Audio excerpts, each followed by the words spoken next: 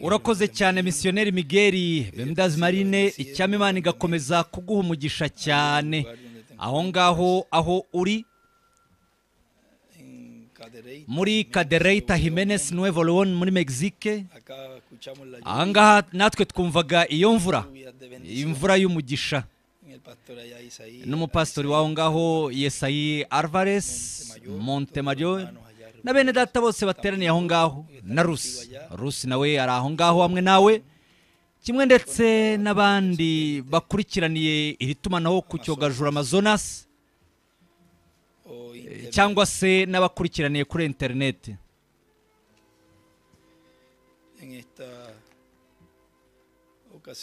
muri uyu mwanya isomo dufite ni ubwiru.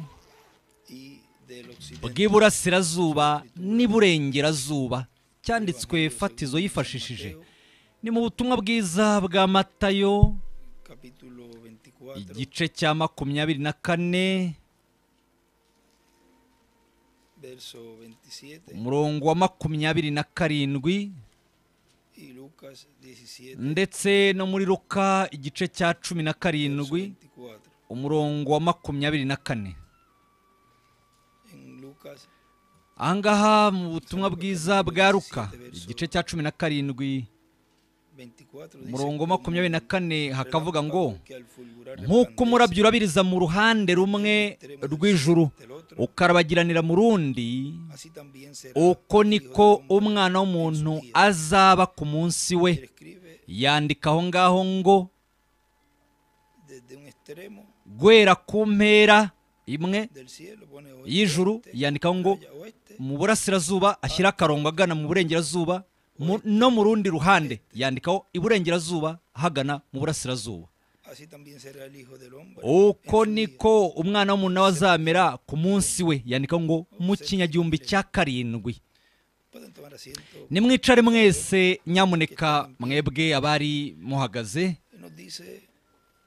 Ahangaha aratubwira mu butumwa bwitwa umuntu ugendera ku ifarashi yera. Ni ubutumwa bwabwirijwe ari ku isabato itariki cumi n'imwe z'ukwa munani muri bibiri na cumi na kabiri. Ahitwa Buenos Aires muri Argentine.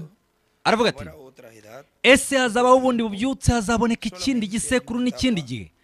gusa hariho ikindi gihembwe. icyo ni igihembwe cyo mu gisekuru cyazabu mu itorero. Mu gisekuru cya adopsiyo igisekuru cyo guhindurwa mu gisekuru cy'ibuye rikomeza imfuruka. Nta handi hantu handi hashobora gusorezwa ubwo bubyutse.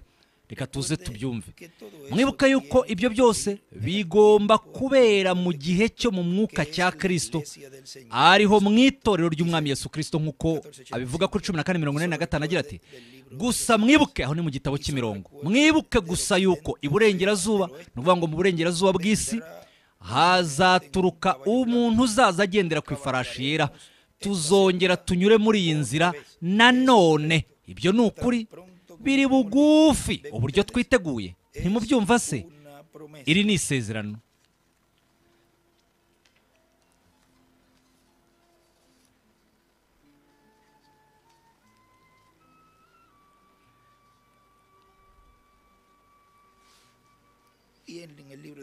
Ndetse mu gitabo cy'imirongo ariho ku rupapuro rw'ijana 166, na mirongo itandatu na gatandatu. aho ngaho ni ho yasomye uyu murongo twumvise mu butumwa bwitwa ahantu hamwe imana yi- yiteganyirije kugira ngo iharamirizwe yanditse ku ruhande ngo iburengerazuba hazaturuka umuntu uzaza agendera ku ifarashi yera. ibyo byari ukugira ngo uwo mugabane yanditse nawo ushyirwemo aho ngaho. Muri iyi mirongo. Akomeje avuga ati rero niba ari isezerano ibyo bizasohora. Hazabaho urundi rugendo. Aravuze ngo ahantu runaka hari aho revera william branham avuze. Rero ibyo bizaba ari ugukurura kwa gatatu. mu gihembwe cyo gukurura kwa gatatu. ubwo ni bwo hazasohora iryo sezerano. kandi bizabera mu burengerazuba bw'isi iburengerazuba ku mugabane w'isi wa amerika. Kandi bigomba kubera imbere mu itorero ry'umwami Yesu kirisito ari rwo rusengero rwo mu mwuka rwa kirisito none se nihe habaye kwigaragaza gukomeye cyane muri rwa rusengero rwari mu baheburayo mu gihe cya mose aho hantu habaye ahera hera cyane. Hejuru y'intebe y'ihongerero hagati y'abakerubi babiri ba zahabu aho ni ho habaga kugaragara kw'imana. Naho mu gihe cy'umwami salomo nabwo aho hantu habaye ahera ahera cyane hagati y'aba bakerubi babiri ba zahabu. Nanone kandi aho habaga abakerubi babiri b'ibiti by'imyelayo bisizwe zahabu bari abakerubi banini cyane. Babaga batwikiriye isanduku y'isezerano. Ndetse batwikiriye n'abandi bakerubi babiri ba zahabu. Ni ukuvuga ngo hejuru y'abo bakerubi babiri ba zahabu. Que eran de madera, abo bari bakozwe mu biti by'imyelayo ariko bisigirijwe zahabu. Abo bakerubi babiri banini nibo bari batwikiriye abandi bakerubi bari aho ngaho. Abo bakerubi babiri banini nibo bari hejuru y'isanduku y'isezerano. akomeje agira ati none se wewe urimo urakora de aho ni ku zindi mpapuro mu- muri ubu butumwa. ndimo ndakora ku bw'ineza y'iki gikorwa. Ndimo ndakora ku bw'ineza ya bya bindi byose birebana n'iyerekwa ry'ihema birebana no gukura kwa gatatu. ndetse birebana. n'uyu muntu uzaza agendera ku ifarashi yari mu byeje cumi n'icyenda. Ndetse n'ibirebana. No kuzuka kw'abapfiriye muri kirisito ndetse no guhindurwa kw'abariho ari bazima ndetse n'izamurwa ry'itorero kujya mu birori by'ubukwe bw'umwana w'intama ndetse n'ibindi. Rero murumva yuko iyo niyo mirimo ya data imbere mu itorero rya Yesu kirisito muri kino gihe cy'erezo. Rero ndimo ndakora muri iyo mirimo yose. Utarimo akora akanegura. Abarimo bakora uwaba yikururira ikibazo gikomeye mu maso y'imana azisanga ameze nka kora datani na biramu nabo bose arimo agerageza kurogoya gahunda imana ifite nk'uko nabo babikoze muri kiriya gihe. Nuko rero igikwiye ni ukuba urimo ukora muri gahunda y'imana ijyanye n'igihe umuntu aba yagenewe kubamo ari muzima. Igihe mwene data buranamu yashatse kugerageza guhuza amerika amajyaruguru n'abayahudi yarabibujijwe. Yari afite ubukozi bwa eliya mu kwigaragaza kwabwo bwa kane. Kandi ariko ibi ngibi bijyanye no kwigaragaza ku nshuro gatanu nuko rero mu gusozwa kw'iyerekwa ry'ihema ibyo bifitanye isano n'ubukozi bwa eliya ubukozi bwa mose ndetse n'ubukozi bwa yesu. Azaba ari umwuka wera uzaba aje ku munsi wa nyuma aje mu mbaraga z'ijambo ryasezeranijwe ku munsi wa nyuma.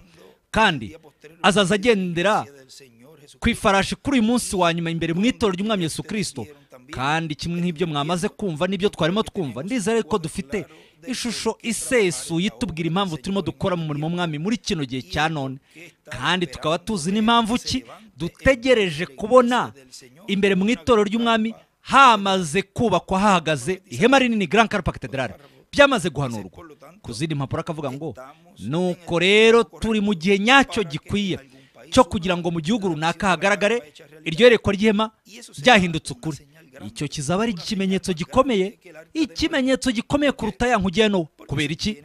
kubera ko ibyo byo bifitanye isano no kwizera ko kuzamurwa ndetse muri uko kwigaragaza kwa marayika w'isezerano mu gusohozwa kw'iyerekwa ry'ihema rinini Grand Carpa Cathedral muri uko kwigaragaza kw'inkingi y'umuriro kwigaragaza kwa marayika wa wundi waherekezaga Revera William Branham ndetse n'ibindi bintu byinshi.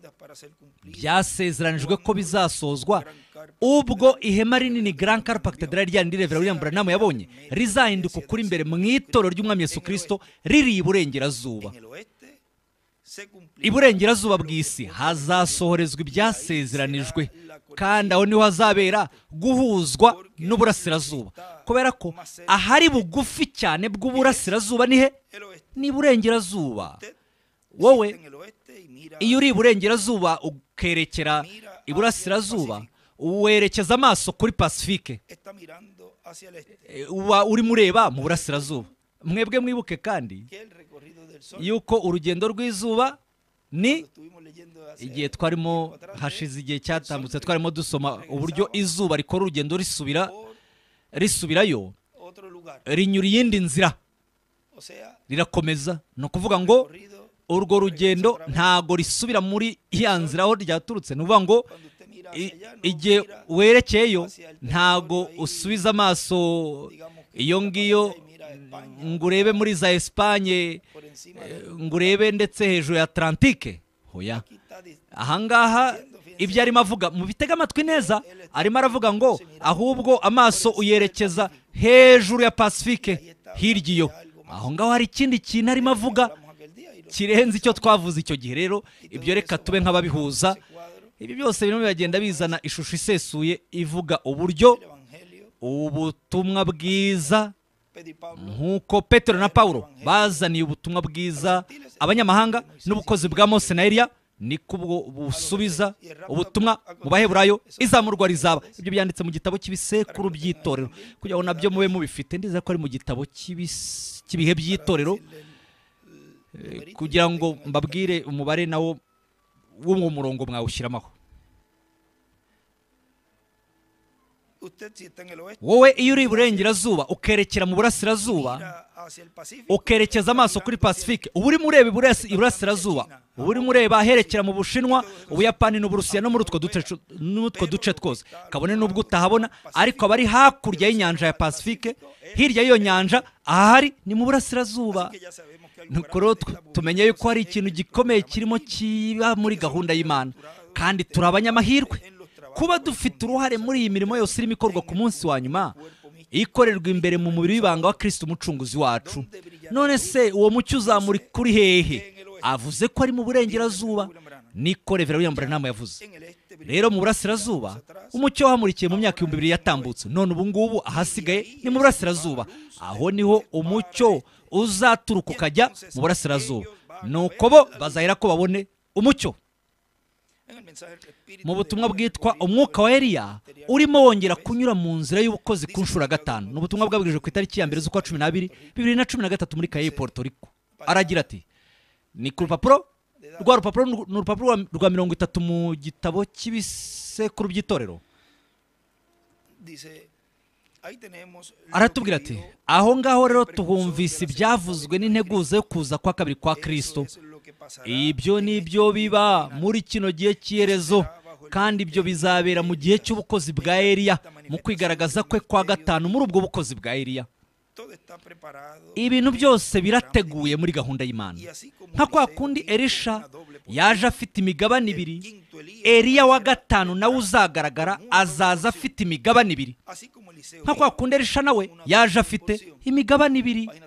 Ku rupapuro rwa mirongo itatu mu gitabo cy'ibihe by'itorero aho ni ho buranamu avuga kuri pawulo na petero petero na pawulo kimwe nk'uko bimeze no ku bukozi bwa mose ndetse na eliya akomeje avuga ku rupapuro rwa gatatu isirayeli itegereje kuza kwa eliya kandi vuba bidatinze iryo sezerano ryo muri maraki igice cya kane rizasohora aho havuga ku murongo wa gatanu ati dore nzaboherereza umuhanuzi eliya mbere y'uko haza umunsi ukomeye uteye ubwoba w'uwiteka akavuga ngo kugira ngo ntazaza nkarimbuza isi umuvumo aho ni muri maraki igice cya kane. Rero ibyo bizazana ububyutse ububyutse bukomeye cyane hagati mu bayahudi hagati mu ishyanga ry'abaheburayo. Kandi uwo mugisha uzaturuka mu itorero ry'umwami Yesu kirisito aho ni ho hazaturuka umwuka wa eliya arimo asoza ubukozi ku nshuro ya gatanu. Igihe twamubonye ari ubwa nyuma icyo gihe yigaragazaga ari ku nshuro ya kane ari hagati mu bakristo ibyo ni bya bindi nababwiraga mu ntashyo. Bya bindi nababwiraga mu ntashyo z'uyu munsi. Muri maraki kane eh, avuga mm, inshuro nyinshi avuga yerekeza kuri Eliya wa kane. Ariko mwumvise aha ngaho uburyo noneho avuze ko ubu bukozi bwa Eliya abutumye mbere y'umunsi ukomeye kandi uteye ubwoba w'uwiteka. Aho ngaho abigaragaje ubwo bukozi abigaragaje nk'ubukozi bwa Eliya ku nshuro ya gatanu. Ntimwumva? Ibyanditswe bigira gusohozwa kw'inshuro nyinshi. Nuko rero hagati mu bakristo bundi bushya tuzongera tuhagira ubukozi bwa Eliya ku nshuro ya gatanu. Noneho mu nkubwe ebyiri.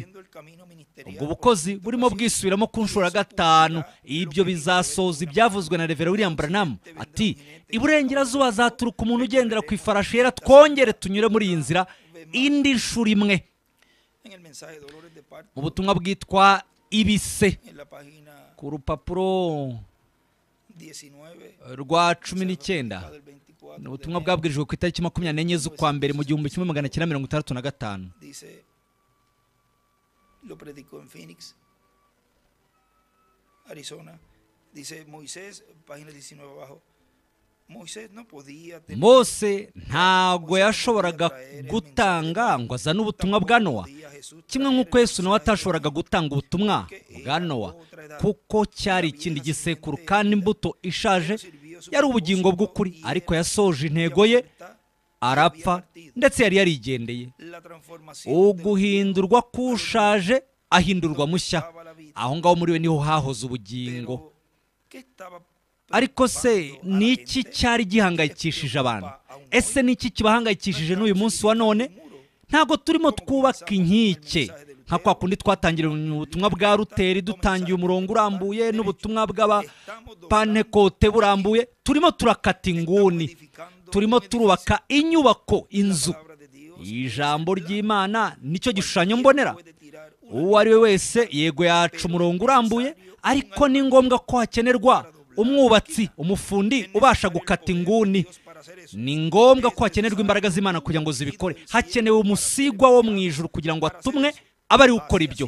Uko niko byagiye bimera muri buri gisekuru yandikaho ngo umwubatsi umufundi ashyira mu dukubo umuhanuzi utuma habaho gukata inguni.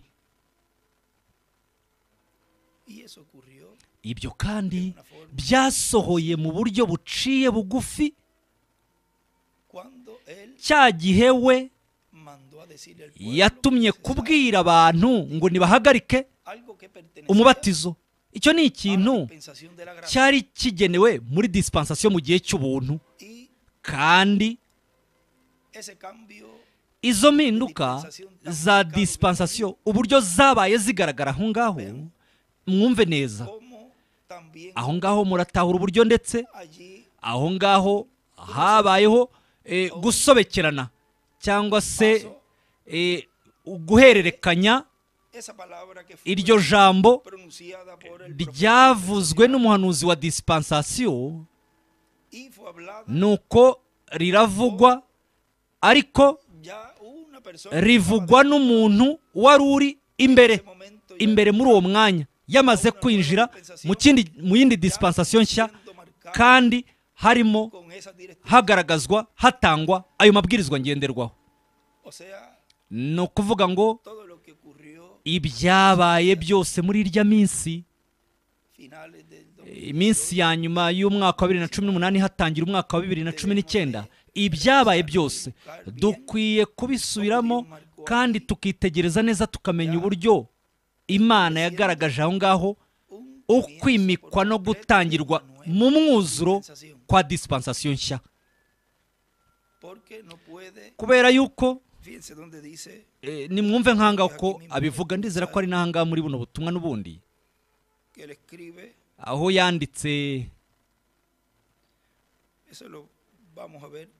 Eh, ariko wenda twaza kubireba ndumva ari n'ubundi.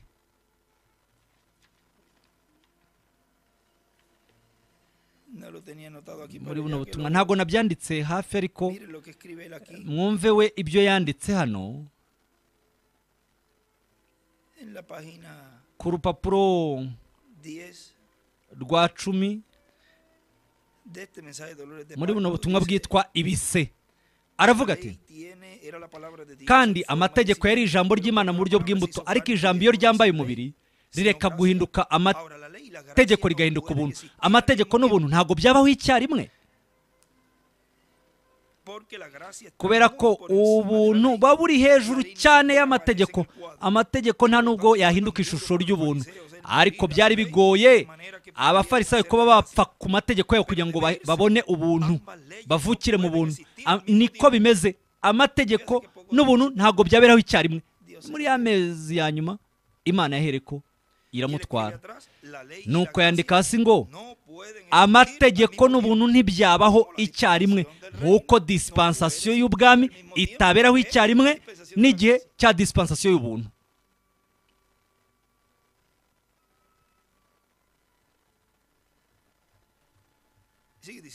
Ahangaha akomeje avuga ati ku rupapuro rwa makumyabiri kandi mu gisekuru cy'umuhanuzi. ijambo ry'umwami riza rinyuze mu bahanuzi b'umwami. bo nibo bakata izo nguni kandi bagakora ibintu byari bitandukanye neza neza. ariko abubatsi bo bagashaka gukomeza kwiyubakira inkuta gusa. ntabwo ari inkuta. Ni ukubakwa kw'inyubako. Inzu inzu y'imana.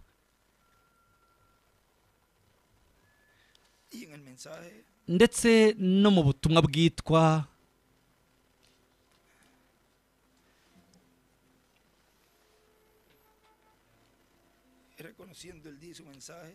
kumenya umunsi uwo ari wo n'ubutumwa bwawo.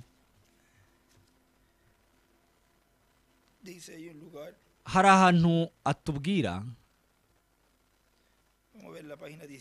Reka tuze turebe ku rupapuro rwa cumi na gatandatu.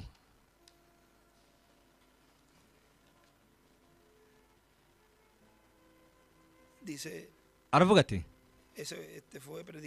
ubu ni ubutumwa bwabwirijwe ku itariki makumyabiri n'esheshatu z'ukwa karindwi muri mirongo itandatu na kane bubwirizwa na revero wiyamburanamu aravuga ati kugira ngo abahanuzi babo bahishurwe kuri uyu munsi wa nyuma ntabwo byakorwa biciye mu minsi mikuru y'impanda.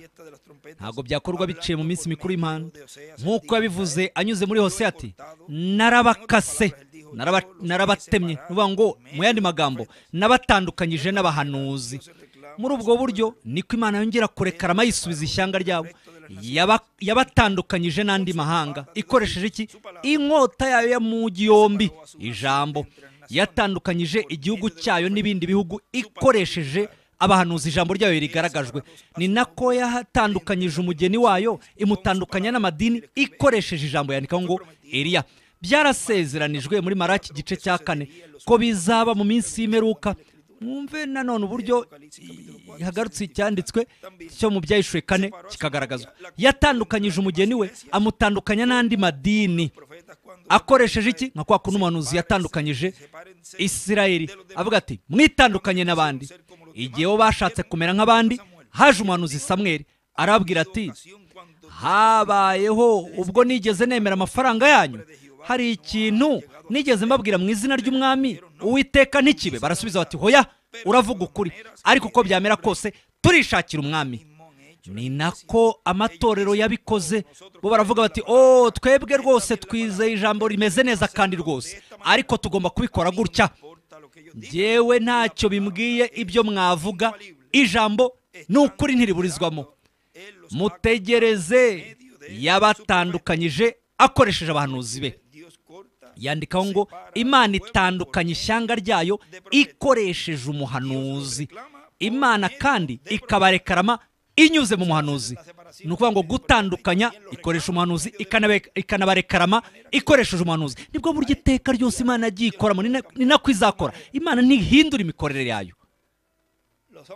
Abantu ibiremwa abantu nibo bakorana n'imana cyangwa se nibo bayihagararira. Ahangaha n'ubundi akomeje atubwira. Ibi byanditse muri buno butumwa ni bwa butumwa n'ubundi twarimo dusoma. ibise ku rupapuro rwa makumyabiri na karindwi noneho aravuga ati mu itorero ryo mu isi ya none harimo imikorere ibiri irimo ikora mutege amatwi mwitonze. ngiye kumva niba muza kuvuga ngo amen. hari imikorere ibiri irimo ikorera mu itorero ry'amadini none. Ibyo reka mbe nk'ubyikuraho nikureho uyu mutwaro. Twese ibyo turabizi. Iryo ni ijambo ry'imana ndetse n'imikorere y'amadini. Aho ni ho hari imikorere ibiri irimo ikora neza neza nka kwa kundi bari bameze. Yakobo na esawu. Umwe ari uw'umwuka undi ari uw'umubiri. None si byo ni iki? Esawu na yakobo barimo barwanira ndetse mu nda ya nyina. Ndetse no mu mwanya wo kuvuka kwabo. Ni nako bimeze. Hagati y'amadini n'ijambo. Hagati yabo barimo bararwana barahanganye. Kandi ibyo byagiye biba kuva mu gihe cya ruteri azana impinduramatwara.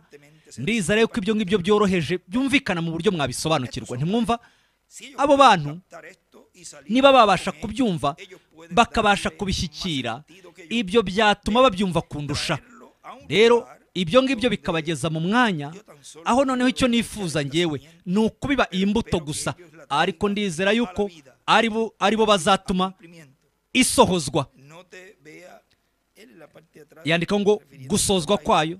Ku rundi rupapuro noneho aho arimo aganisha aho ngaho mwumve ibyo yanditse.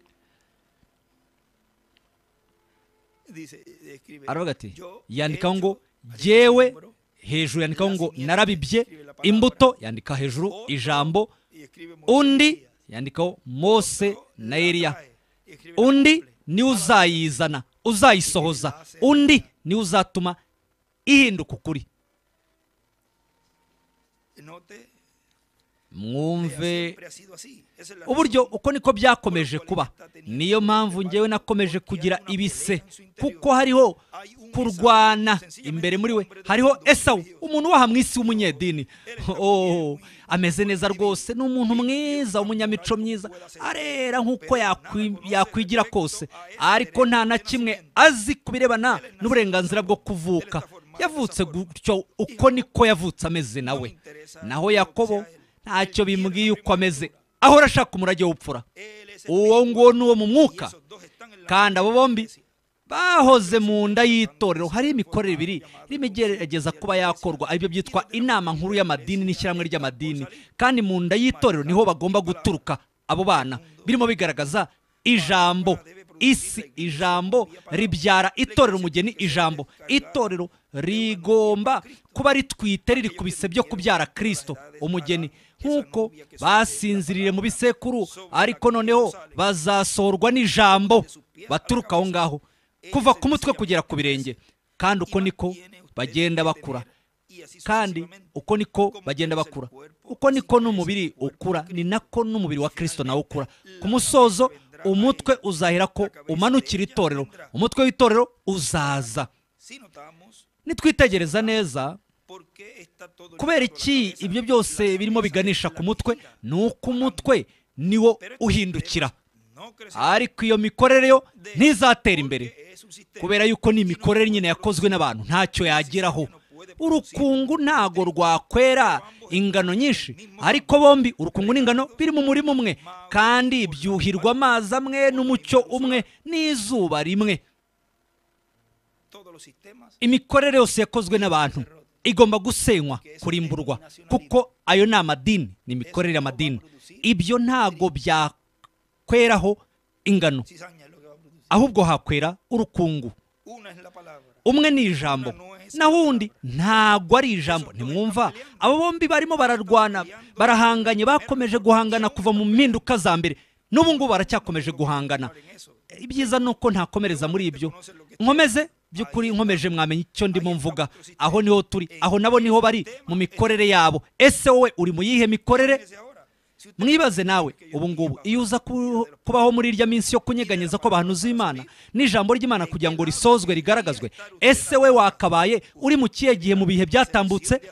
Uwo mwanya ni na cyo cyemezo wagahisemo uyu munsi wa none. Ibyo urimo ukora none ni byo wagakoze icyo gihe cyatambutse. We arimo aritegurira kugira ngo abyare. Ijambo umugeni nk'uko byagenze kirya gihe kandi ijambo rizira umugeni ijambo. Nk'uko umugabo umugore umugore aba ari urugingo rw'umugabo niko bimeze aba yarakuwe muri we. Niko itorero rimeze uyu munsi wa none. Ni ijambo aho ijambo ritura mu itorero. Ijambo ryose riri muri bibiliya. Ntabwo ari imikorere n'imihango yakozwe n'abantu. Agomba kuba ari umugeni ijambo w'isugi adafite ubusambanyi ubwo ari bwo bwose. Uko ni ukuri yandikaho ngo umugeni ni we ubyara ijambo. Ndetse no mu butumwa bwitwa ivugabutumwa ry'igihe cy'iherezo ku rupapuro rwa mirongo ine na gatanu aravuga ati ese ibuye rigira akahe gaciro udafite umwubatsi waryubaka yandikaho ngo umuhanuzi. umwubatsi wo kuryubaka. Petero igihe yagize guhamya kwe yesu yaravuze ati wowe uri petero uri ibuye ritoya? ariko se ibuye ryamara iki hatari umwubatsi wo kuba yaricunga ngo aricongemo umwana w'imana. we gusa warundanya amabuye agahinduka nk'umusozi. yandikaho ngo kugira ngo babe adobute bahindurwe abana b'imana bagaragajwe ashushanya ndetse inyenyeri ya dawidi. Ibyo ni ukuri. ibyo ngibyo ntacyo byabimaze. Amazi na yo ubwayo. Aca intege ibuye. Abo ni abantu. None se ibuye ryakumarira iki? Udafite umwubatsi? Ufite n'ibikoresho byabugenewe? Kugira ngo ibuye ariconga rishyire mu mwanya wabugenewe mu nzu y'imana? Gusa nifuzaga kubikubaza. byaba bimaze iki ibyo byemezo byose no kuba amazina yawe yanditswa ngo mu gitabo? Byakumarira iki kujya kwiyunga n'idini runaka udafite umwubatsi wakora ibyo ngibyo? Ngo atume ibingibi bikorwa na biriya bikorwe akore guconga abikore mu buryo abihuze neza neza abahindure abakirisito bari mu nzu y'imana bafite bya bimenyetso biherekeza abizera yandikaho ngo gusa rindi rimwe iryo ni ryo vugabutumwa ry'igihe cyerezo ni ugufata amabuye agacongwa. Ntimwumva ese ibuye ryakumarira iki? Amabuye yakumarira iki? uyarundanyije gusa. ibyiza ahubwo ni uko wayarekera aho ari kuko iyo hanze aho ari ni ho yamererwa neza kuruta kuza kuyarundanya ntacyo amaze. akaba ari aho hanze gusa. Ibyo ni ukuri. ibuye nta gaciro rigira hatari uryubaka urikoresha umwubatsi. Uvuga ngo abana b'imana ntacyo baba bamaze. Hatari umuhanuzi muri bo. N'iki byamara kuyarundanyira uruhande runaka? Hatari umwubatsi. umuhanuzi. Yandika ngo amabuye abantu.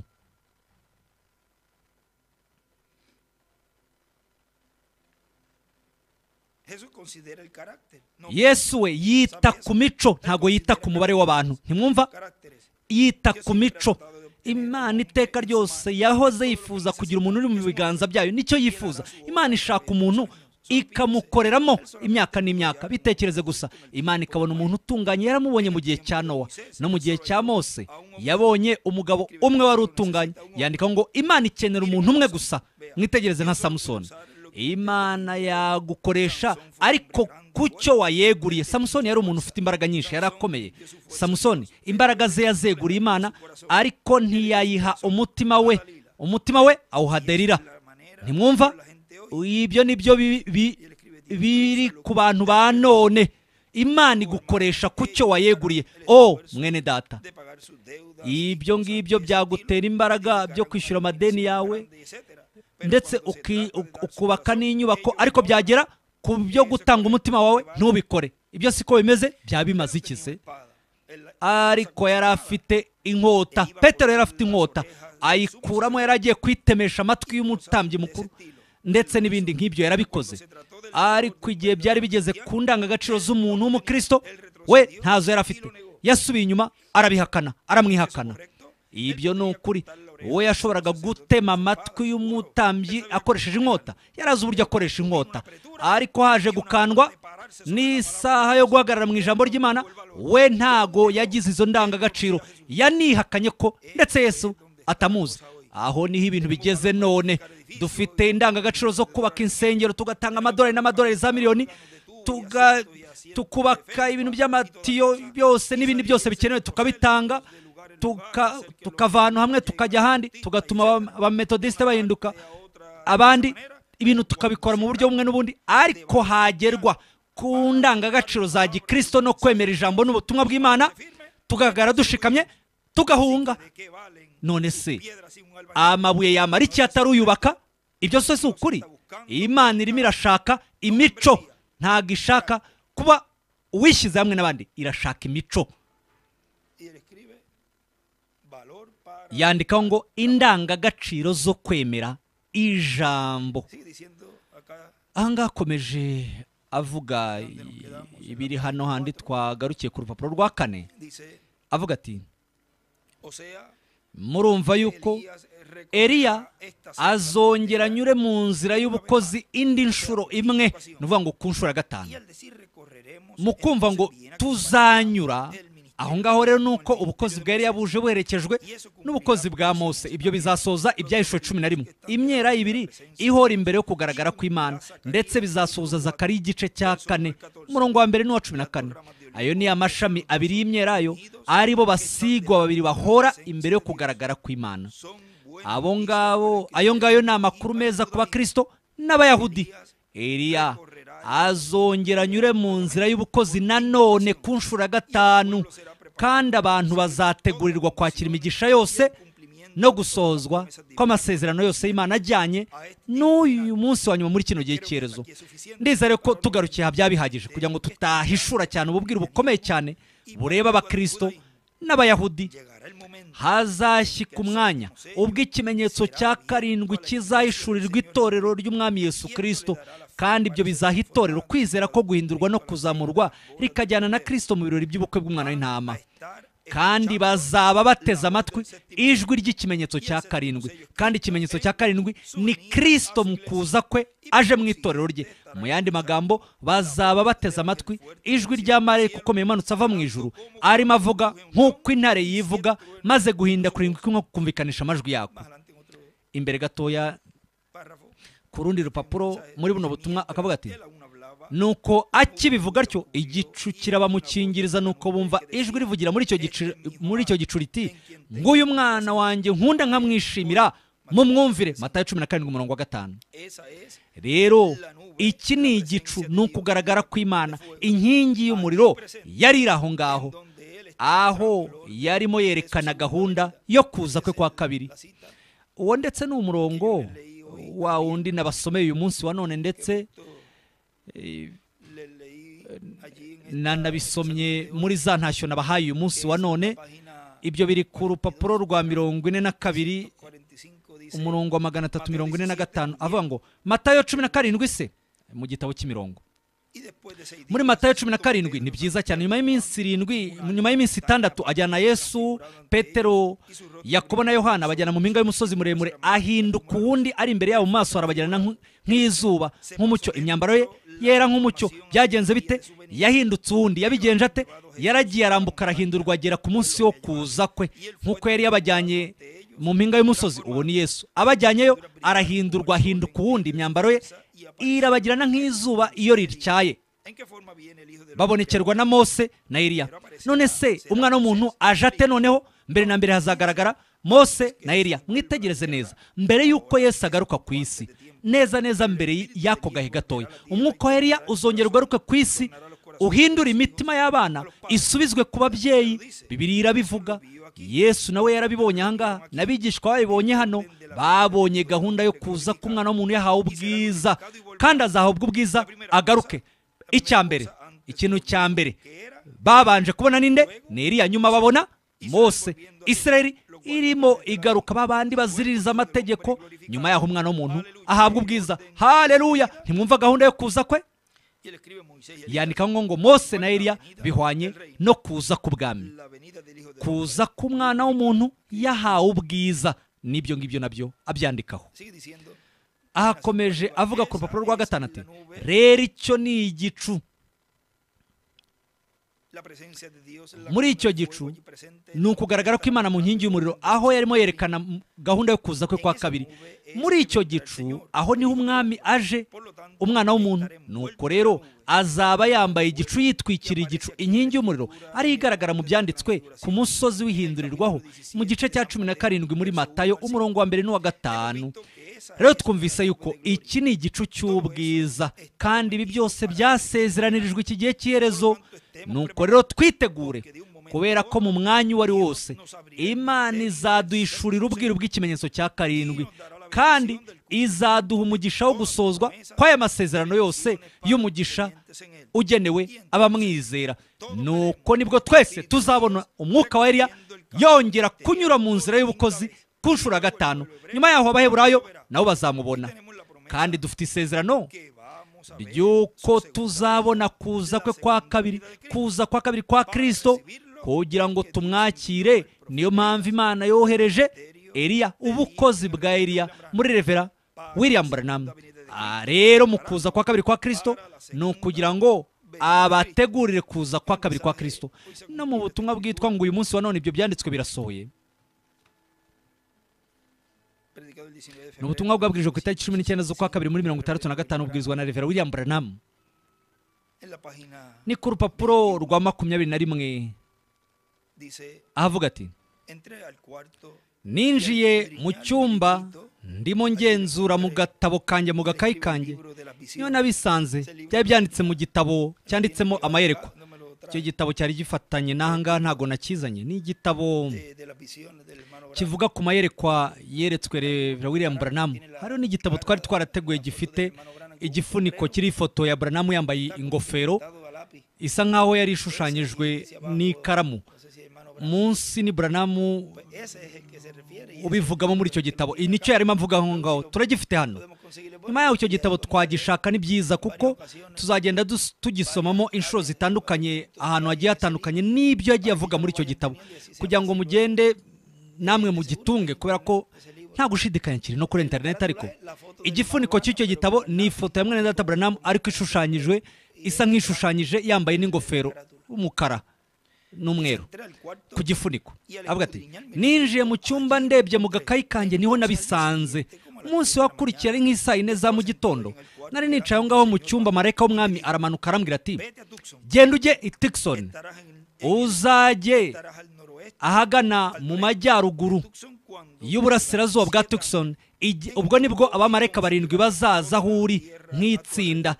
Igihe bazaba bakuzengurutse hazabaho guhinda umushyitsi. Nibwo uzagira icyo ubwirwa aho ngaho. Yandika aho ngaho ngo abamarayika barindwi hiyongereyeho n'undi. Ni bangahe bibuka igihe ibyo na yo babwiraga mbere ndetse yuko biba igihe kirekire. Hariho abantu bicaye aha ngaha muri iri joro. Ibyo yari yarabivuze ndetse kera mu buryo bweruye mu butumwa bwitwa ngo ese bagabo iki cyaba ari cyo gihe? Mu kwa cumi n'abiri muri mirongo itandatu na kabiri ni bwo yabivuze. Noneho bigiye kuba bisohora hanyuma muri mirongo itandatu na gatatu itariki makumyabiri n'umunani z'ukwezi kwa kabiri. Kandi hariho hariho igihembwe aho hagati nk'uko nakomeje kubiganiraho ndetse nyuma nzaba nkubibabwira uburyo hari abamarayika bamaze iminsi umunani bategereje mwene data Branham. Kandi nyuma ni bwo haje kuba ibirebana na ya foto ayo matariki yose ndaza kuyabashakira kugira ngo mumenye ndetse mugire n'ubwo bumenyi yego wenda hariho ababizi. ariko muri iyo minsi hari ibintu byarimo biba.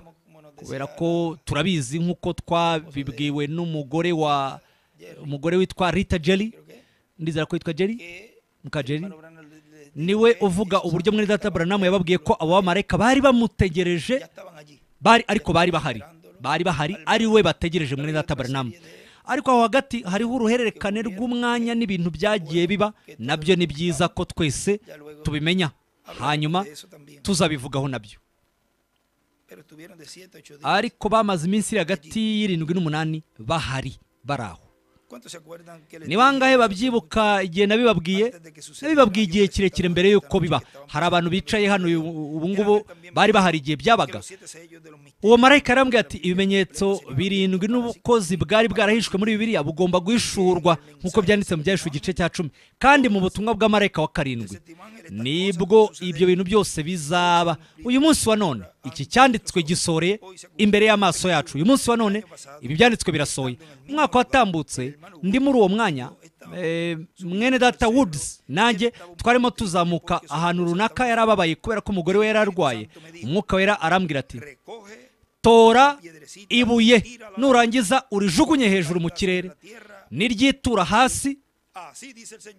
Ndavuga ni uvuga uti niko uwiteka avuze. Ibihano bimanukiye isi. Umubwiye ko umubwire ko agiye kubona ukuboko kw'imana mu masaha runaka ari imbere. Mbwira mwene data woods ari kumwe natwe ndamubwira nti umunsi ukurikiye umwami yamanutse muri serwakira. Muri uko kugaragara kwa bene data nka cumi na batanu bari aho ngaho babireba.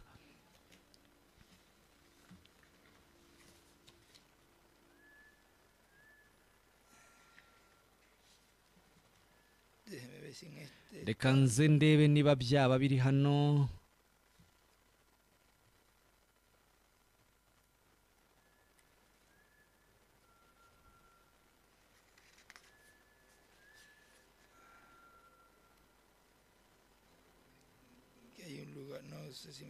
Sinzi niba nabaye nk'ubizana ariko hari ahandi hantu.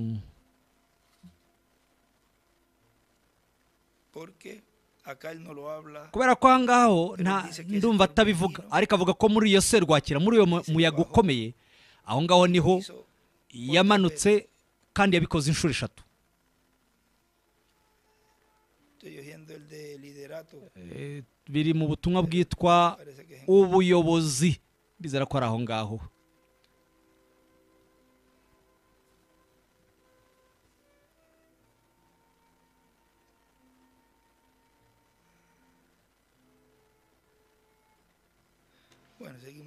Byiza reka dukomeze dusome "Bajó hano yaravuze ati kugaragara k'umwami kwamanukiye aho ngaho muri serwakira hari bene data nka cumi na batanu barimo babibona. Ni uku ko kugaragara gukata ibiti byose byari aho muri ako gashyamba n'amabuye yose araturika yari- iruhande rw'ako gashyamba. Habaho guhinda kw'inkwa kuvuga kuti ibihano birimo birerekeza ku nkengero z'uburengerazuba. Mu minsi ibiri bizashyika muri arasika harengerwe n'ubutaka. Kandi kuva icyo gihe hazakomeza kubaho igishyitsi cy'ibihano by'imana bikate amarido yo mu mwuka. Bigane aho ngaho mu burengerazuba bw'icyo gice. Rimwe yandikaho rimwe irido y'icyuma kabiri irido y'ibiti bya bambu gatatu irido y'ibyaha. Kandi iri terambere ryakomeje kugenda rikora urugendo nk'izuba. Ni nk'ubutumwa bwiza. Buva mu burasirazuba bwerekeza iburengerazuba kimwe nk'izuba. None ubu ngubu inkengero z'uburengerazuba nta ntambwe ishobora kurenga aho ngaho. Birenzeho byakomeza bisubira mu burasirazuba. Umuhanuzi yaravuze ati hazashyika umunsi. Ubwo bitazaba ari umunsi w'amanywa ndetse ntube nijoro. Uzaba ari umunsi w'ibihu. N'imvura nyinshi igwa. Hari ibicu. Wenda. Keretse habaye hariho umucyo uhagije watuma wiyunga n'itorero cyangwa se ukaba wakwandikwa muri icyo gitabo. Ariko bizaba ubwo hazaho umucyo wa nimugoroba hakagaragara umucyo. Zakariya cumi na kane umurongo wa karindwi. Uyu munsi wa none ibyo byanditswe birasohoye. Rya zuba rirasira mu burasirazuba ni naryo zuba rirengera iburengerazuba rero ubu ngubu umwana w'imana waje bwa mbere aturutse mu burasirazuba yahamirijwe nk'imana yari yigaragarije mu mubiri. Ni wa wundi umwe n'ubundi ni wa mwana w'imana n'ubundi. Uri hano muri kano gace k'uburengerazuba. Niwe urimo yigaragariza imbere mu itorero muri iri joro nka wa wundi uko yahoze ejo hatambutse n'uyu munsi niko ari n'iteka ryose. Umucyo wa nimugoroba akavuga ati yamaze gushyika uwo mwana kandi uyu munsi wa none ibyo byanditswe bisoreye imbere yanyu cyangwa se bisoreye imbere yacu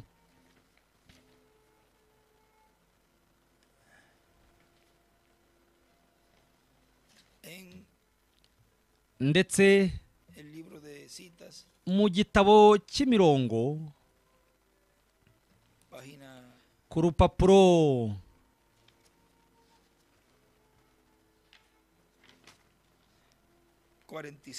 Urupapuro rwa mirongo ine na gatandatu ku murongo wa magana atatu mirongo icyenda aravuga ati yaravuze ati ndi alfa na omega mu yandi magambo tubivuze ukundi nzaba uw'ikirenga mu ba mbere kandi nzaba uw'ikirenga no mu ba nyuma umucyo urasira mu burasirazuba ukarengera iburengerazuba cyakomeje kuba igihe cy'ibihu bikomeye n'umwijima ariko nibwira hazaboneka umucyo yihishura mu bumana bwe nk'uko yihishuriye itorero rya mbere feso ibyo se si byiza mutega amatwi noneho.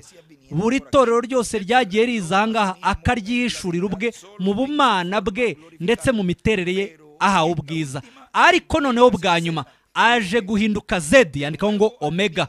Nanone agahinduka wa wundi w'inkomoko. Ntimwumva? Uwa mbere n'uw'iherezo yandikaho ngo umucyo wo mu burasirazuba n'umucyo w'iburengerazuba. Naho ku mucyo mu burasirazuba ashyiraho agafureshi yandikaho ngo alfa mu burasirazuba kuza kwe kwa mbere. Naho umucyo w'iburengerazuba yandikaho agafureshi yandikaho ngo omega. Mu burengerazuba kuza kwa kabiri.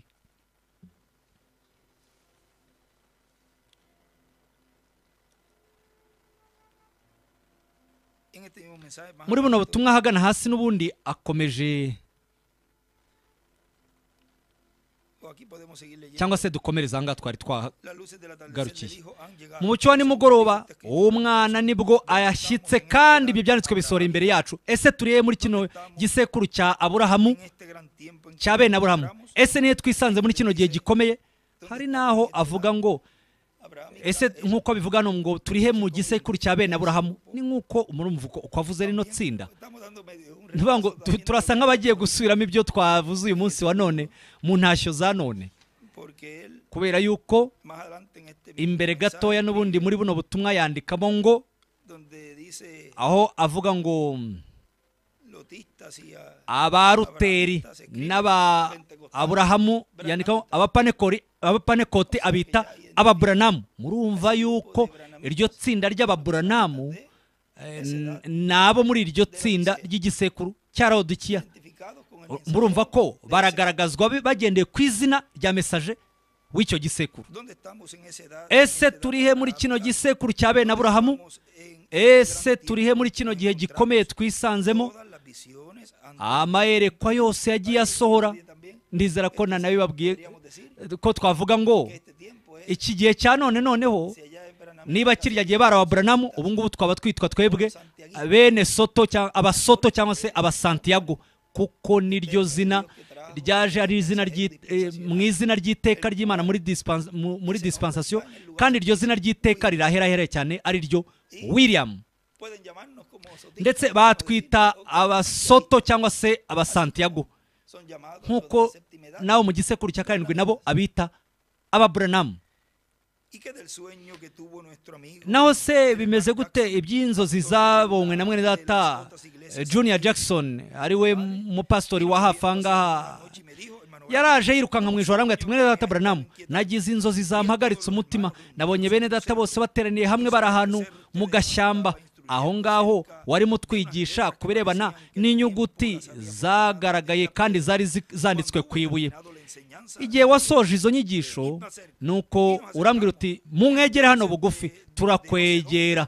nuko sinzi ahantu narebye mbona haturutse icyuma icyuma kiraza kimena ayo mabuye asigarana ishusho rya piramide. Yandikaho ngo ibuye rikomeza imfuruka. Ashushanya piramide. byose byasaga nk'aho ari amabuye ya granite ariko nta kintu cyanditseho. wowe uravuga uti ibi mubyitegereze nuko turahindukira kugira ngo tubirebe. Mpindukije umutwe ndakubona nkubona wiruka werekeza mu burengerazuba werekeza aho izuba rirengera. Ni bangahe bibuka izo nzozi? Yandika ngo iburengerazuba aho izuba rirengera.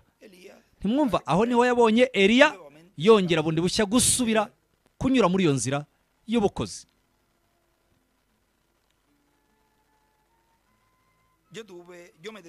Nuko nahereye ko mfata akanya ndahagarara mu gihe umwuka yari arimo abihishura. Ndavuga nti bibiriya yose n'ibyahishuriwe umuntu byose binyuze mu gutsindishirizwa yandikaho rimwe kwezwa yandikaho kabiri umubatizo w'umwuka wera yandikaho gatatu mu kubatizwa mu izina ry'umwami yesu n'ibindi n'ibindi hariho amabanga yahishwe aho ngaho kandi yafatanishijwe ibimenyetso birindwi. ngomba kwerekeza aho ngaho kugira ngo mpure na byo.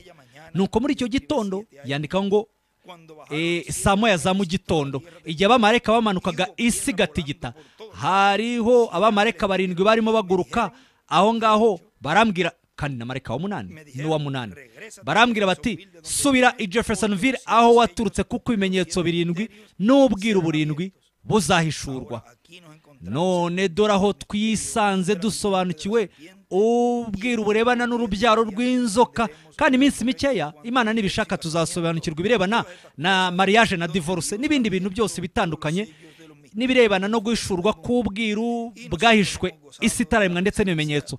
Twakomeje kunyurwa turi imbere yo kugaragara kw'iyi migisha yose. Ibi ni ukuri. Uyu munsi wa none iki cyanditswe kirasohoye. Sigue diciendo. Aha ngaha akomeje atubwira ahandi twahagarariye. Mu kuza kwa kabiri kwa kirisito kugira ngo abategurire kuza kwa kabiri kwa kirisito nzamubona. kandi nzamwakira mu mwanya wo gusozwa kw'isezerano rye. Kandi yaramwakiriye. Nande wundi na buri wese muri twebwe natwe. Buri wese muri mwebwe namwe. Niyo mpamvu twebwe turimo twitegura mu buryo bw'umwuka twitegura kuba twiteguriye uwo mwanya ngirakamaro cyane wo mu mateka y'imana aburahamu isaka na yakobo ndetse n'ishyanga ryayo. Mu butumwa bwitwa ububyutse bw'umwuka wera ni ubutumwa bwabwirijwe ku itariki makumyabiri n'enye z'ukwa cumi na kumwe muri bibiri na cumi na gatatu hano muri kayo politorika aravuga ati rero tuzi ko haje ububyutse buzi itorero ry'umwami yesu kirisito nk'uko ubwo bubyutse bwabayeho no mu bisekuru byatambutse mu bihe byatambutse. Rero ntitwifuza guhomba umugisha w'ububyutse bwa nyuma mu itorero ry'abanyamahanga. Twamenye yuko hakenewe guhinda kurindwi kuvuga ni ukuvuga ngo ijwi rya kirisito ririmo rivuga. Nk'uko intare yivuga rero nk'uko intare nk'uko intare yivuga. Rero hazabanza hakenerwe guhinda kurindwi kw'inkwa kugira ngo gutange kwizera kuduhesha guhindurwa no kuzamurwa. Mu yandi magambo rero dukeneye kumenya birushijeho ibirebana n'iyi gahunda y'imana yose afite agomba gusozanya n'itorero rye. Igihe kimwe revera william Branham yaribajije ati ese hazabaho ubundi bubyutse koko? Arangije avuga ngo ariko iburengerazuba hazaturuka umuntu uzaza agendera ku ifarashi yera. Tuzongera tunyure muri iyi nzira rindi rimwe. Rero ubu ni ubukozi bwa Eliya bwari muri revera william Branham. Arimo avuga yuko hazabaho ubundi bubyutse bwo mu mwuka. Kandi ubwo bubyutse bukazazanwa n'umuntu uzaza agendera ku ifarashi yera aravuga ngo iburengerazuba hazaturuka umuntu uzaza agendera ku ifarashi yera tuzongera tunyure muri iyi nzira rindi rimwe. Ubukozi bwa Eliya bwanyuze mu nzira y'ubukozi. Aho ni muri Eliya w'umutishubiti kandi uwo wabaye umwuka wera warimo usoza ubwo bukozi. Bundi bushya ubwo bukozi bwanyuze mu nzira y'ubukozi ku nshuro ya kabiri. Muri erisha nyuma yaho ubwo bukozi bunyura mu nzira y'ubukozi bwa gihanuzi ku nshuro ya gatatu muri yohani umubatiza nyuma yaho ubwo bukozi bwongera kunyura mu nzira y'ubukozi nanone mu nshuro ya kane muri revera william Branham. Rero turumva yuko iteka ryose bibera hagati mu bantu bafite isezerano ry'icyo gihe muri icyo gihe. Ndetse umwuka wera yongeye gukorera muri revera william Branham asoza ubukozi bwa Eliya ku nshuro ya kane. Nk'uko yohani umubatiza yabaye integuza yo kuza kwa mbere kwa kirisito revera william Branham nawe yabaye integuza yo kuza kwa kabiri kwa kirisito niyo mpamvu tumwumvise avuga ngo iburengerazuba hazaturuka umuntu uzaza agendera ku ifarashi yera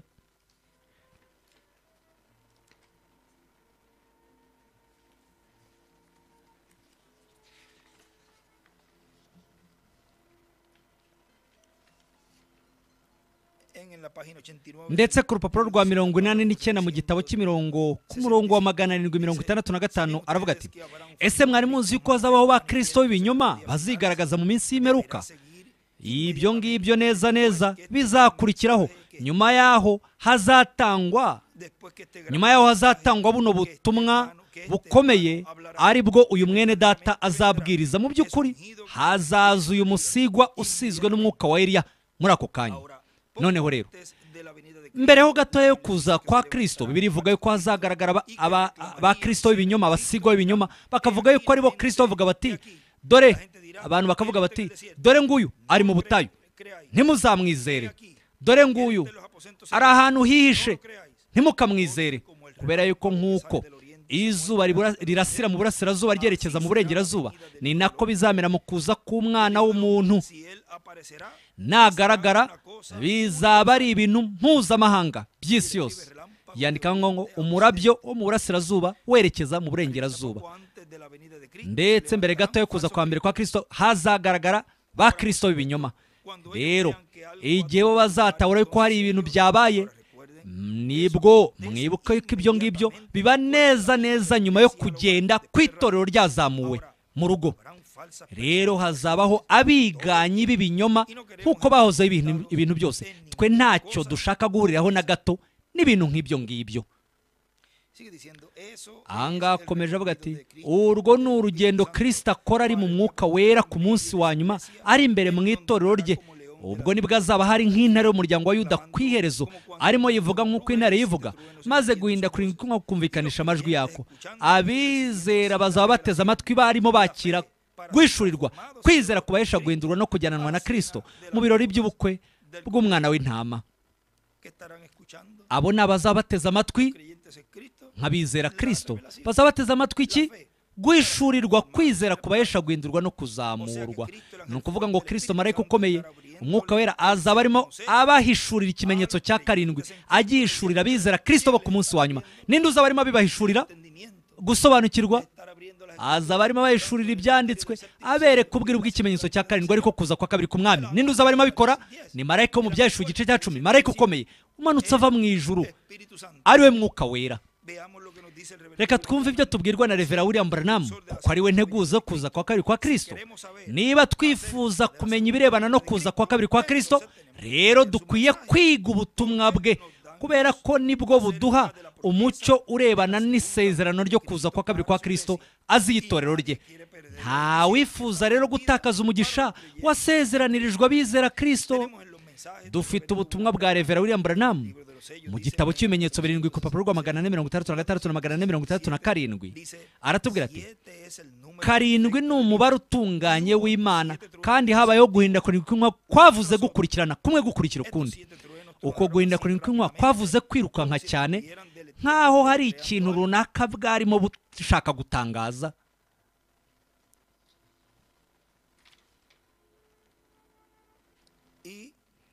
Kandi mu butumwa bwitwa ivugabutumwa ry'igihe aravuga ku rupapuro rwa makumyabiri agira ati umunsi wa kabiri waratambutse ndetse n'uwa gatatu uratambuka cyangwa se ahabanza.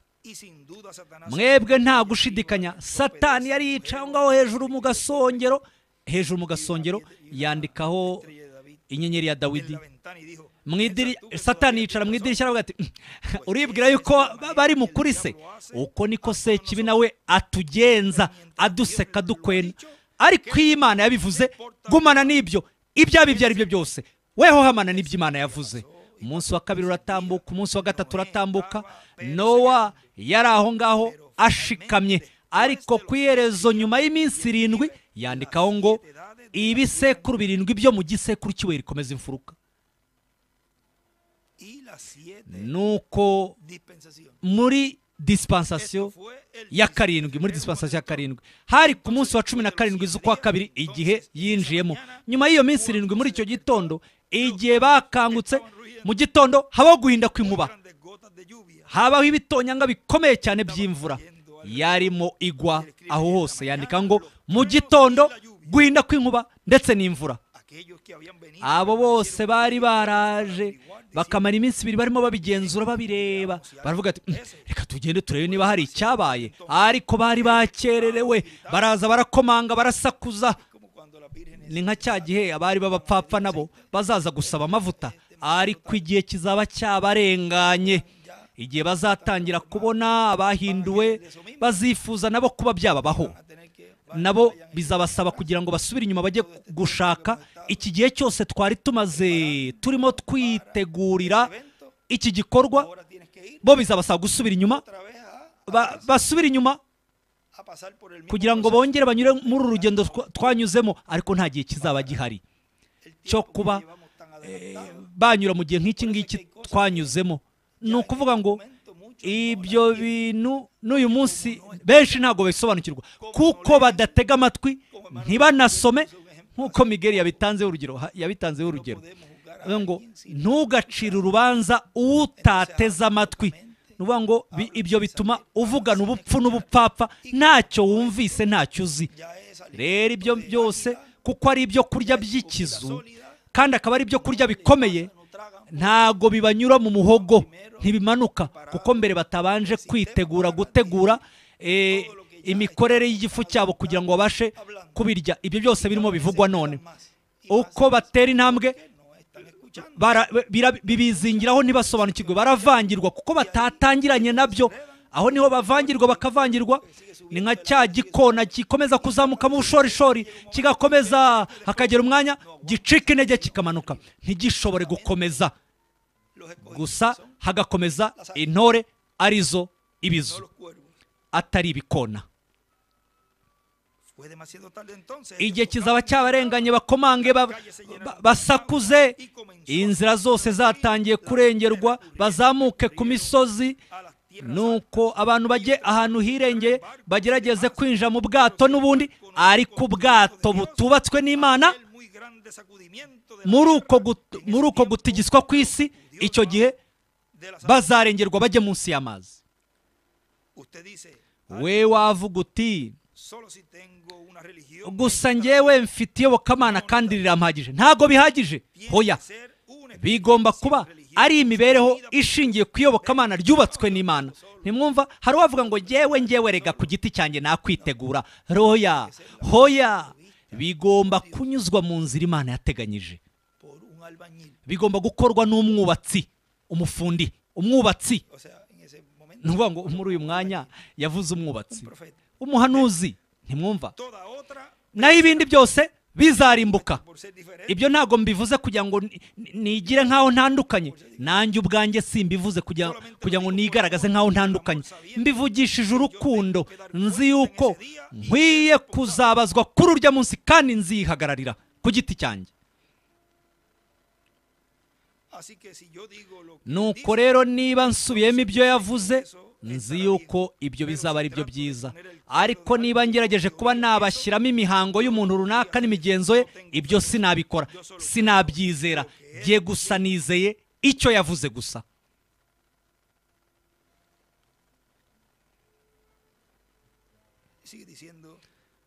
Ahangaha akomeje avuga ati ahagana hasi. Vamos a ver, reka tuze turebe. La página 7, ku rupapuro rwa karindwi página 7, ku rupapuro rwa karindwi hagati muri iyo mirongo avuga ati rero mumenye yuko muri icyo gihe yohana yatangiye kwandika ariko arabwirwa ngo wikwandika. Yesu nawe ntiyigeze abivugaho. Yohana nawe ntiyashoboye kubyandika. Abamarayika ntacyo bari babiziho. None si byo ni ibiki.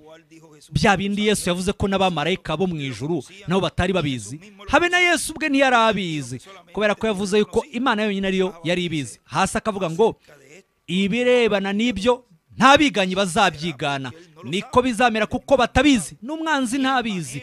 Nta n'uburyo ndetse yagera ubwo azabimenya. Uko ni ugukurura kwa gatatu. Ibyo byo ntacyo abiziho ntabisobanukiwe. Ariko hari ibanga ribihishemo. Icyubahiro kibi cy'imana isumba byose. Ntabwo nari narigeze ntekereza nk'uku nguku imyaka yose nabayeho nyuma yo kubona ibi ngibi. Rero nzi intambwe igiye gukurikira iyo ariko sinzi uburyo nabisobanura. Ariko ntabwo bikibura igihe kirekire. Naho hagana hasi gato ku rupapuro rwa magana ane mirongo irindwi na rimwe akavuga ni yaranzamuye anshyira ahantu hirengeye hejuru ahari igiterane. Hasaga nk'aho ari mu ihema cyangwa se inyubako nini cyane. Nditegereza mu ruhande mbona hari akumba ahantu hatoya. Wa mucyo mumbonana ku ifoto yarimo ivugana n'undi muntu hejuru y'aho narindi iragenda iraguruka yerekeza ijya ku ihema. Iravuga iti tuzahurira hariya. Kandi ibyo bizaba ari ugukura kwa gatatu. Ntukagire uzabibwira. Rero murumva yuko twumvise ko gukura kwa gatatu kurebana n'ikimenyetso cya karindwi bifitanye isano no kwizera ko guhindurwa no kuzamurwa. Ndetse bifitanye isano n'ububyutse bwo ku munsi wa nyuma mu gihe cy'iherezo ni ukuvuga ngo ibyo ngibyo birahuriza hamwe ibyo byose. Kandi byose bizagenda birimo byerekeza ku ihema rinini Carpa Cathedral. Byoroheje nk'uko nguko. Cya gihe ahitwa kanyoni sabino yarambwiye ati uku ni ugukura kwa gatatu. Hari ibintu bitatu bikomeye biherekeza gukura kwa gatatu. Kimwe muri byo cyahishuwe ejo hatambutse ikindi ni uyu munsi ikindi gisigaye cyo sinakivuga. Kuko cyari mu rurimi ntigeze menya. Ariko nari mpagaze aho ndabyitegereza. Uko ni ugukura kwa gatatu. Niko kuje. Kandi ni umwuka wera w'imana. O mwene data niyo mpamvu mu ijuru hose bagize ituze. Ntimwumva gukura kwa gatatu? Nimuhanga amaso gukura kwa gatatu? Muri uko kwigaragaza kwako. Nibyo bituma habaho ituze mu ijuru. Ese ni iki gituma haba ituze mu ijuru? Ni ukugaragazwa kwa kuno gukurura kwa gatatu. Gukurura kwa gatatu ndetse muri uko gukura kwa gatatu itorero ry'umwami Yesu kirisito nibwo ryakira ugusigwa no kwizera kurihesha guhindurwa no kuzamurwa. Mu gukura kwa gatatu ni bwo habamo ububyutse bwo mu mwuka bukomeye cyane. Ari bwo bubyutse bwo mu mwuka. Ubwo ni ububyutse bwo ku munsi wa nyuma. Butangwa no gukurura kwa gatatu muri uko kwigaragaza kwako. Icyo gihe ijwi rya kirisito rizaba ririmo ryumvikana rivuga mu buryo bukurikirana budahagarara. Hashingiwe ku byahishuwe igice cya cumi kandi itorero ririmo ribwirwa. Ibyo ni byo bizatanga kwizera kurihesha guhindurwa no kuzamurwa kuri uyu munsi wa nyuma. Ubwo bubyutse ni ububyutse bwo ku munsi wa nyuma buzatangirira muri icyo gihe cyo gukura kwa gatatu nuko bikwiriye bigere no mu bindi bihugu byose. Ubwo ni ububyutse bukomeye cyane kugeza ubwo buzakomera cyane kuruta ububyutse abakirisito bagize. Ni ububyutse bwo mu mwuka bukomeye cyane buzaba hagati mu bakirisito bwasezeranijwe muri kino gihe cyerezo ku munsi wa nyuma. Kandi ni mu kinyagihumbi cya nyuma kubera ko umunsi umwe ku mwami ni nk'imyaka igihumbi n'imyaka igihumbi ingana n'umunsi umwe petero wa kabiri igice cya gatatu umurongo wa munani ndetse na zaburi ya mirongo icyenda umurongo wa kane. Ndetse muri izi nyigisho nyuma yaho ariko reka reka tubisome twihuta. Ndizera ko dufite tugifite agahe. Aho avuga muri izi nyigisho izi ni inyigisho izi ni zo nyigisho za zindi yabwirije akazita ubwiru bw'iburengerazuba. Ntago nibukaga isomo iryo ari ryo que él había hablado en esa ocasión cya gihe en ubwo yari ari mu nama y'abakozi b'imana. 2004 ibyo byabaye mu bihumbi bibiri na kane. nuko ubwo ni bwo yari yateguye n'isomo rihuza n'iri rya none. nuko nibutse yuko hari inyigisho nari mfite rirebana n'iri somo. ariko by'ukuri ntago nabashije kuba nabihuza kuri urya munsi. Nuko igihe con narabibabwiye mbabwira kuri cya cyumweru uburyo hari mu giterane cy'abakozi b'imana hari inyigisho za bibiliya twarimo twiga turi kumwe twari mu biro bimwe nuko we araryama. Arasinzira akangutse arambwira ati benji namubonye. Namubonye ni umugore. Sinzi niba icyo gihe narabisobanuye ariko namubonye uwo mugore aryamye mu isanduku yo gushyinguramo mbona n'imihango yo gushyingura n'ibindi byose. Kandi ngiye kwandika izina rye aha. By'ukuri ntago nabashije kuba nahuza iryo somo? Ryibuka iryo ari ryo kuko ntaryibukaga. ariko ndimo nshaka nabonye iri somo menya yuko ari ryo somo. Nitegereje mbona yanditseho ariko ntago byakunda kugira ngo turebe uko yabyanditse. Yanditseho itariki makumyabiri n'eshanu z'ukwa cyenda ari ku isabato muri bibiri na kane muri kayeyi. Tuze turebe niba wabasha kuhabona.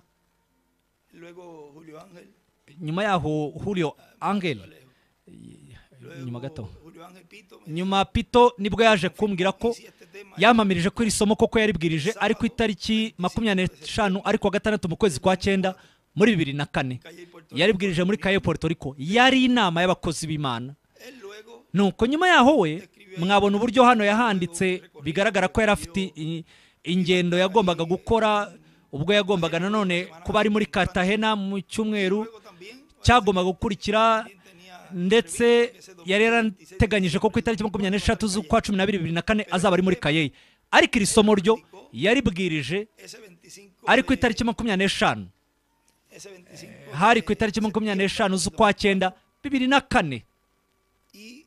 Nuko muri izi nyigisho ni bwo ahagana inyuma ku rupapuro rukurikira yanditseho izina ry'uwo mugore.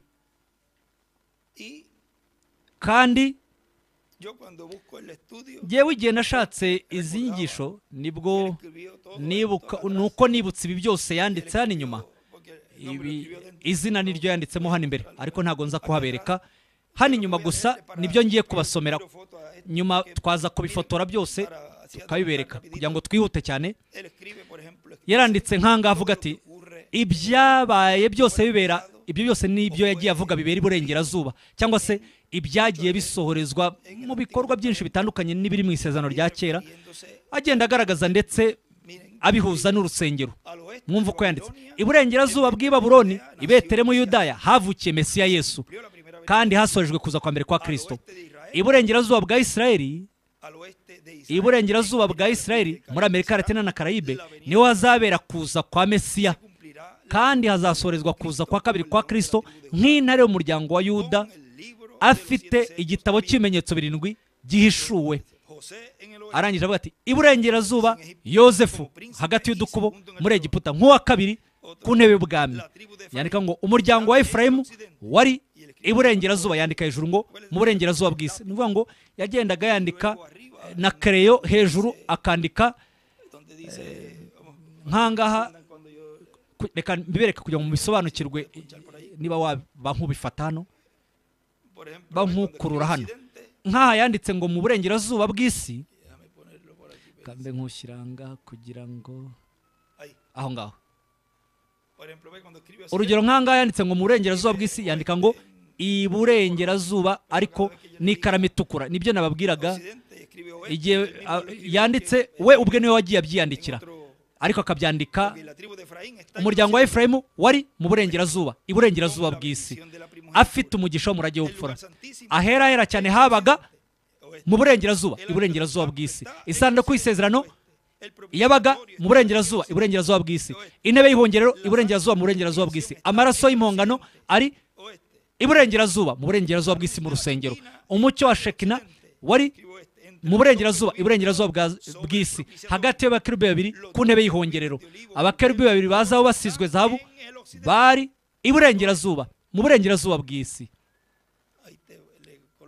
Aho ngaho agaragaje abakerubi babiri basigirijwe zahabu ndetse akavuga n'abandi babiri.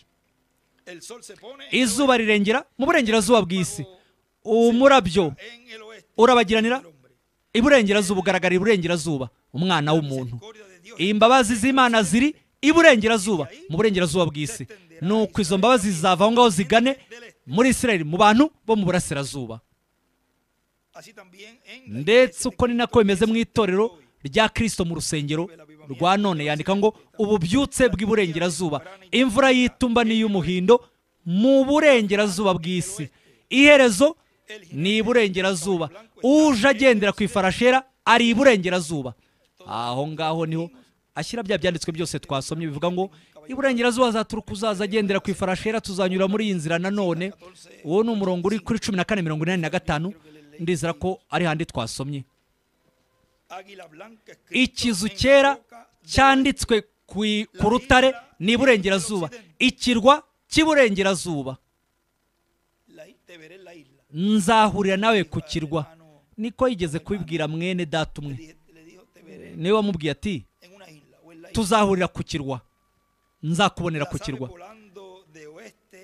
Za nyoni zarimo ziguruka ziva mu- burengerazuba zijya iburasirazuba zikora ese ebyiri. Byanditse aho ngaho ku rupapuro. Nyuma yaho wenda twabisoma. En la ni 23. ahitwa ngo ku mababa y'ikizu cyera ku rupapuro rwa makumyabiri na gatatu ni muri ubwo butumwa avuga ati oh ndamubonye icyubahiro kibi cy'imana kandi ni bwo zongeye gukora ese zisubirayo ziririmba zirimo zisubira mu rugo. Aho ngaho ku ruhande yandika ngo ese ebyiri muri majisikire cyangwa se mu cyapa. Nyuma yaho ubutumwa twabusoma bwose kuko ni ubutumwa ngirakamaro cyane. Ndigera ko twari leer. ariko twakongera tukabusoma. Ni ukuvuga ngo aho dusomyemo ibintu twari twarasomye ariko tugakuramo n'ibindi n'ibindi byinshi. Después de los 40, aho avuga ko nyuma y'imyaka mirongo ine ndizera ko ari byo en esta- en la página 22, abivuga ku rupapuro rwa makumyabiri na 40 años, el kabiri avuga ati nyuma y'imyaka mirongo ine umubiri wa kirisito uzakizwa igifu cyo mu mwuka. Igihe bazabona umwuka wera yambaye umubiri ari mu muntu. Hariho n'ahantu mwene data buranamu na mwene data william yanditse hejuru mu gitabo cy'imirongo akavuga ngo by'ukuri umuntu akomeje Atya, byadusaba kugira nk'amakesha nk'uko william yabivugaga ariko ni nako mwene data migeri bijya bimugendekera rimwe na rimwe mu biterane yajya kureba agasanga igihe yari yateganyije kuba yamara cyarenze ariko by'ukuri imana niyo iyobora byose reka nze ndebe nihuse niba nabasha kuhabona ariko ni ah, ahangaha yanditse ahangaha aravuga ngo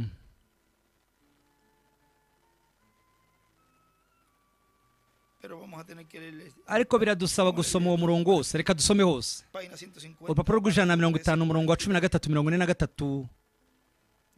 Avuga ati ubwo bwiru buzahishurwa mu minsi y'imperuka ubwo abamarayika barindwi ubutumwa bw'amarayika wa karindwi we ntabwo ari uvuga ngo natangira gukora ibyo. ahubwo natangira gu- gu- gutanga ubutumwa bwe ntimwumva se. Ntabwo ari imyaka y'imyiteguro ahubwo natangira gutanga ubutumwa bwe. Yandika ngo igihumbi kimwe magana cyenda mirongo itandatu na gatatu. Ubwo bwiru noneho ni bwo buzahishurwa. Kandi dore buri ahangaha atari ukubimenya mwebwe muri abahamya babyo. Rero ubwo bugenzuzi bwose ni ubw'umwihariko kugira ngo abantu bakomeze kwibaza ibyabaye bibaza ngo byagenze bite? Kandi abo babishyize mu kinyamakuru. Abantu bazi ibintu bitandukanye bibaza ibyabaye. Atari mu bicu hejuru. Ahantu hataba ibicu. Mu birometero mirongo ine n'umunani ujya hejuru. Oh mbega. Hazabaho ibimenyetso mu ijuru. Igihe hazaba ibyo bintu byose imitingito n'ahandi hantu hatandukanye hazagaragara mu ijuru ikimenyetso cy'umwana w'umuntu. Uwo munsi muri ruka umwana w'umuntu azihishura nanone azihishura we ubwe. Abafite umwuka wera bategereje ibyo ngibyo. Arangije yandikaho avuga ngo disipansasiyo ya mbere nyuma y'imyaka mirongo ine byabatwaye imyaka itanu. bari kumwe na yoshuwa ni ukuvuga ngo disipansasiyo y'amategeko mwibuka yuko iteka ryose ashyiraho izo disipansasiyo za nyuma. agashyiraho iya mbere iya kabiri iya gatatu. amategeko ubuntu n'ubwami. Disipansasiyo ya kabiri. nyuma y'iminsi mirongo ine byabatwaye iminsi icumi. Iyo ni iminsi icumi yo kuba mu cyumba cyo hejuru.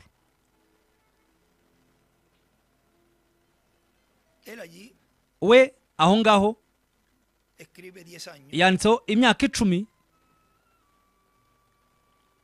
Ni ukuvuga ngo imyaka itanu bari kumwe na yoshuwa n'iminsi icumi bari kumwe bari muri disipansasiyo ya kabiri.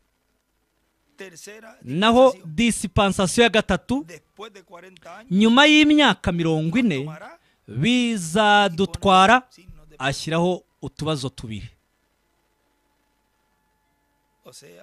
Murumva yuko hariho igihe runaka nyuma y'uko uyu mesaje asoje ni ukuvuga ngo nyuma hakavaho mose. Ndizera ko ku cyumweru tuzabyumva. Ni ukuvuga ngo mose yateguriye igicaniro cyangwa se yamuteguje yateguje yoshuwa ubutumwa bwe.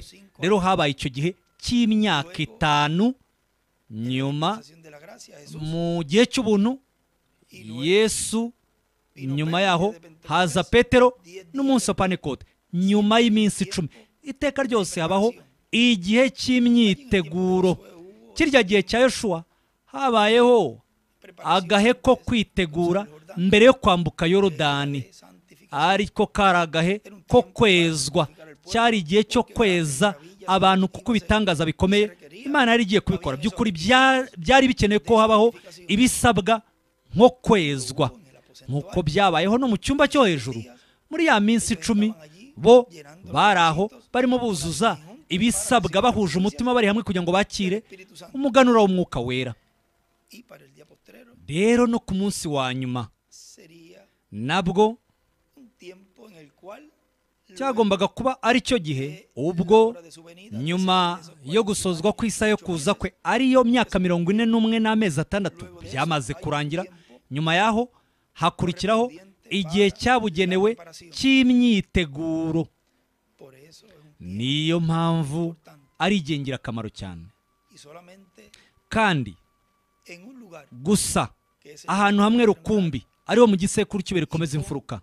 Ndetse hamwe n'umwuka wera ari we uyoboye iryo shyanga riri aho abo nibo bonyine bazaba barimo bakira uko gutegurwa ko kwitegura muri ako gahe. Niyo mpamvu udafatana ubukana ubuseri iki gihe cya none ntabwo azabasha guhindurwa. Byoroshye cyane nk'uko nguko. kandi umuntu azagenda abona uburyo hazagenda habaho hashyirwaho uko gutanya gutandukanya. Uyu munsi wa none wenda urabyumva ijambo gutandukanya rikakugwaho nko kuvuga ngo cincana ariko ni ubwiru burimo buza bugasoza ni ubu bukozi burimo buratandukanya. Icyo ukuri n'iki kinyoma. Ubwo ni ubukozi bwa mose na Eliya. hazaguruka benshi. Iteka ryose barabivuze. ba mesaje byavuzwe na revero william branham byavuzwe na mwene data william. Iki gihe nanone twagiye tubivuga.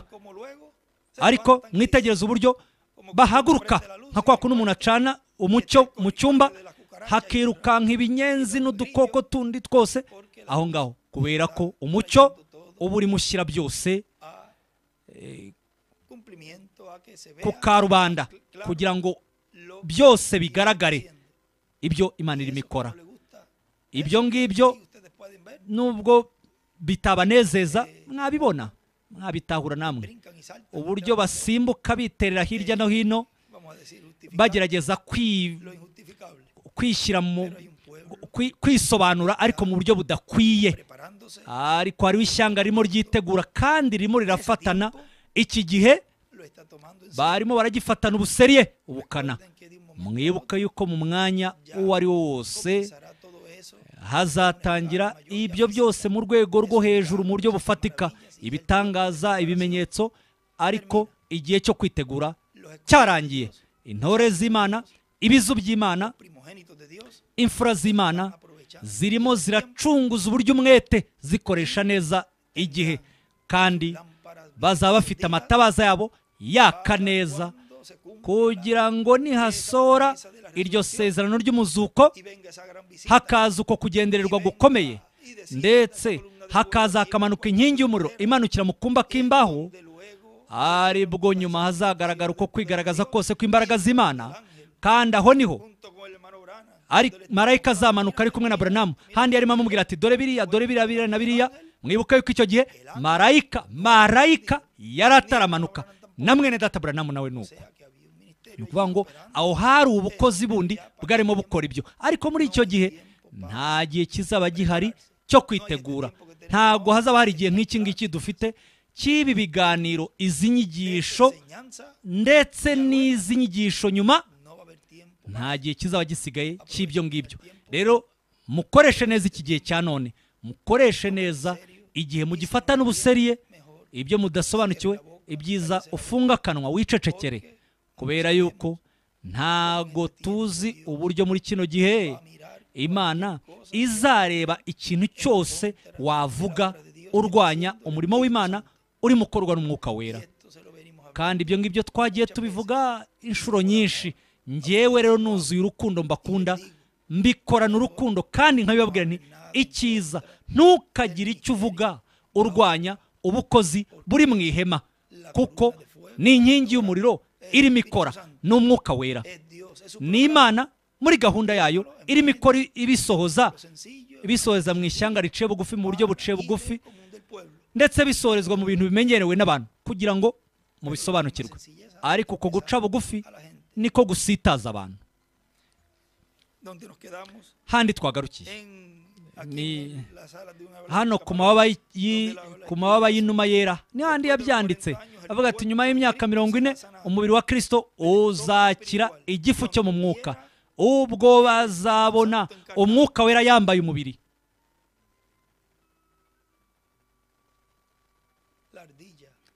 Agakima. Y los 40 años ndetse n'imyaka mirongo ine y'uburwayi bwa mwene data buranamu igihe yabonye inuma ya karindwi. Ndetse yari izanye ubutumwa bwo gukira k'umubiri. Intumwa.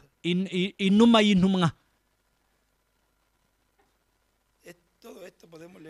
ibi byose ndetse twabisoma mu nyigisho za bibiliya runaka ariko reka dusoreze aha ngaha ikirwa iburengerazuba twabisomye inyoni zagurukaga ziva iburengerazuba zijya iburasirazuba zikoze esi ebyiri abamarayika umunani bo mu gicu bari iburengerazuba igisekuru cy'ibuye rikomeza imfuruka itorero umugeni riri iburengerazuba nanjye ubwanjye ndi iburengerazuba. Namwe muri hehe iburengerazuba. Navukiye iburengerazuba. Ndetse inyenyeri yerekeza iburengerazuba. Ni bande bandi bavukiye iburengerazuba? Ni twebwe twese. Twavukiye mu burengerazuba iburengerazuba bw'isi.